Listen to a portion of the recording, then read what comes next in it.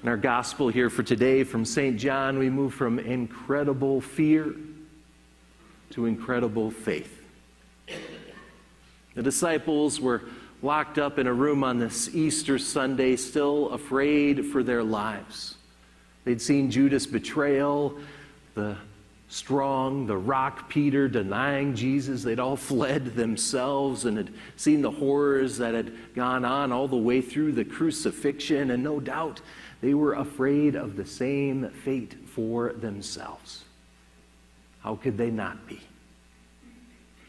Everything that they'd experienced, how wonderful it was, it seemed to have come to a, a crashing halt with the death of Jesus, even though he had told them time and again that he would go to Jerusalem, he would be handed over, he would be arrested, tried, crucified, die, and rise again. Even though they had seen him raise Lazarus one of the last of the great signs for belief that happens in the Gospel of John. Even so, death is a difficult reality to deal with. I believe that they were overcome, overwhelmed, afraid for their own lives. Not only was the door locked where they were, but these disciples were locked up within themselves in fear. We know that there's fight or flight reactions to fear, but there are others as well, and being frozen in fear is one of those options. And so there they were, these disciples. What would they do? Where could they go? They hadn't even begun to figure this out yet. They were in fear. Time and again in the Gospels, it is fear that seems to be the antithesis to faith that holds us back from making the leaps of faith that we need to make, that we are called to make as followers of Jesus Christ. They were held back in this fear, not yet ready to go out into the world to face whatever was next. And then in the midst of them, he appears. And speaking to their fears, he says, Peace be with you. They see him. They see his wounds. They realize it is him. He is risen. They begin to praise and they begin to worship. Everything has turned on a dime there in that scene. Imagine their elation. Imagine how free they felt all of the sudden, free from their fears. And in faith again. All except for one. Thomas was not there. We're not told why he was not there, what he was doing, if he got sent out for some milk and eggs or what the case may be. He just was not there. He did not see. And so, even though after the women had been to the tomb and told the story, even after these ten had seen Jesus in the flesh and had told him their story, still he insists that unless he see, he would not believe. It's kind of the old saying, isn't it? Seeing is believing. Thomas had not seen. He has his doubts. He has his own faith struggle. Even though surrounded by those in faith, still he is wrestling with it. I think here we can connect. We have these times in our lives, don't we? Struggles, problems that come up, things that cause us to fear, things that give us doubts. Even about our most core beliefs, even when perhaps we want to believe more than anything else, those doubts are there. And sometimes it's doubt that is equated with the antithesis of faith, but I don't think so. I think you have to have some faith to doubt. Many times people have come to me in my career as a pastor and have expressed doubts, things that they are wrestling with, and they're deeply bothered by doubt because there's a lot of Christian messages out there that will say if you doubt, then you don't believe, as if it's one or the other. But I've come to see that it really is both working in the life of a believer.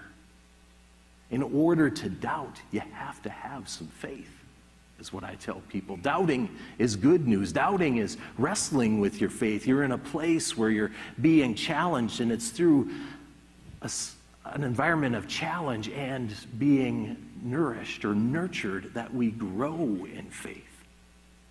Having doubts, having faced struggles is an opportunity to grow even stronger. Stronger in trusting God, stronger in living out this faith that we're called to live. Thomas is in that spot. Jesus shows up again for him. Thomas, the big talker who wanted to touch the wounds, put his hand in the side, does not, if you notice. He sees him and he believes. Just as the others had told him, Thomas comes to a whole another place and just as I read the text today, Jesus kind of admonishes him. Do you believe because you have seen? Well, yeah, of course he does. I, I envision Jesus kind of laughing as he says this, knowing full well where Thomas is at, knowing full well where so many of us will be at, doubting Thomases in our own times, in our own lives. It's all right. Faith and greater faith, I believe, is on the other side of that struggle. And Jesus says something to us here and now, I think. It's kind of like the movie Ferris Bueller's Day Off. Remember that? Every now and then he breaks the fourth wall, as they say. He interacts with the characters, but then turns right to the camera and speaks directly to us. It's a lot of fun. I think Jesus is doing the same thing here. He is saying to Thomas, You believe because you've seen, and then turns to us and says, Blessed are those who have not seen and yet believe. That's us. The ones who were not there in that first Easter.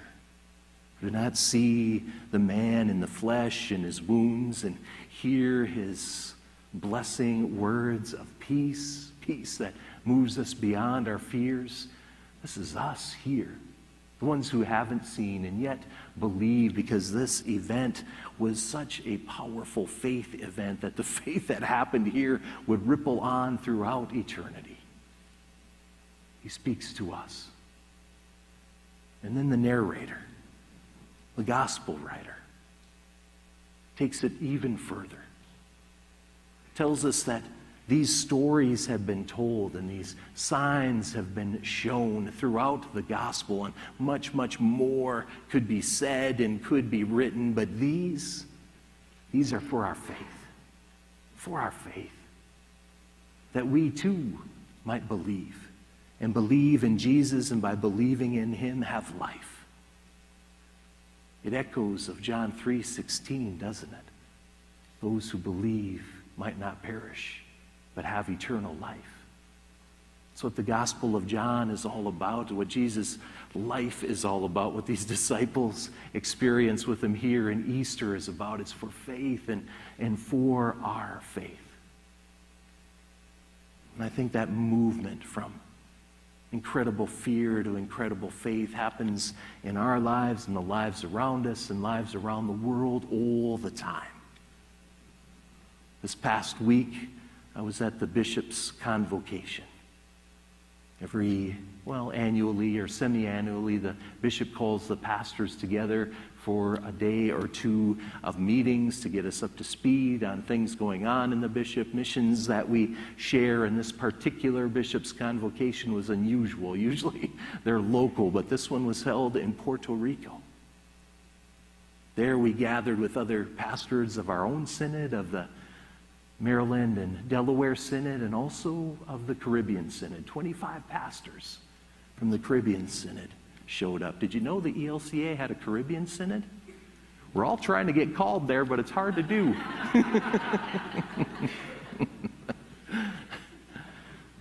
we were there talking about ministry, and mostly on our part, we were listening. Listening to the stories, and the stories, they're framed up in pre Maria and post Maria. The hurricane that happened there, 2017 Every now and then on the news, you still hear about recovery efforts that are still happening. They're well underway, but there's still, still a lot to do, I understand. I was not there before Maria. This is my first time in that country and first time hearing the stories and first person as well, and they're amazing. There's an image of the hurricane Maria from space. You can just see this large swirling cloud. They showed us this picture, and all around it, this, the Caribbean and the Atlantic Ocean. And then they told us that under that cloud was the entire island of Puerto Rico. You couldn't see it at all. All you could see was the hurricane swirling around, wreaking its havoc. Later on, we would come to find that thousands and thousands and thousands of lives were lost for months and months and months, people here in the mainland who were trying to hear from relatives did not hear from them until so very long. Some never did hear from them again. The infrastructure was damaged. Still, they're working on repairing roads and buildings and homes. There's a lot of work that has been done, there's a lot of work still to do. I cannot imagine as that hurricane hovered over that island, just how locked away in fear those disciples were. Fear for their lives.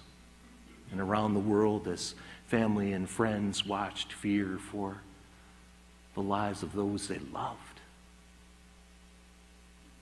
What we experienced this week, though, was not incredible fear. Here, so long after the hurricane, what we experienced was incredible faith. People of Puerto Rico, churches, congregations, Lutherans pulling together to fix things up, to move things forward. One pastor shared her stories of re engaging with community and developing relationships. She's a yoga person, and so she started to hold yoga classes for senior citizens in their community and started to develop relationships and make connections. And that same pastor, she was working with people in that congregation, in the community, with Lutheran Disaster Response, other ELCA congregations to help build up infrastructure, saving up for generators so that when the next hurricane comes and they are preparing for the next one and more frequent ones given our global climate situation, they'll be more ready next time. That they're church, their sanctuary, will be a place of sanctuary where people can come, where the electricity will continue, where they can keep the medicines they need to cool and the food and take care of the people there in that building, seeing themselves not just as a, a ministry of worship, but as a ministry of service and a place of calm, peace, and ministry in the midst of the storm. A resource of life and faith for those communities. And they were excited about it, charged up about it. Whatever their ministry was pre Maria, post Maria, it's truly inspiring. And they are sharing to invite us to accompany them in this.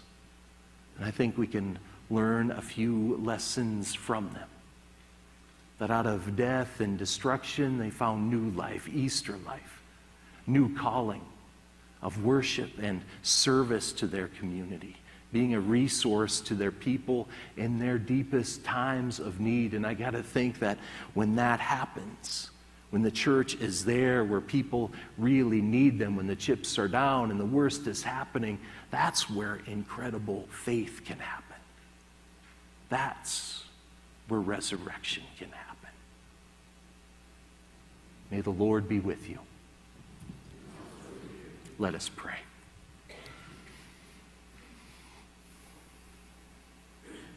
God, beyond our fears, God of faith, God of new life, we give you thanks for your Son entering into our locked up fear and speaking words of peace, giving us faith and new life again.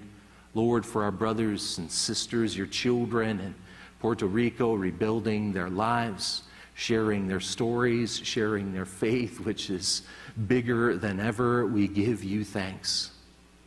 And God, may we here at Emmanuel Lutheran Church and around the world, may we be there for them and for the people in our own community, serving your children in need, giving glory to you, the God of life.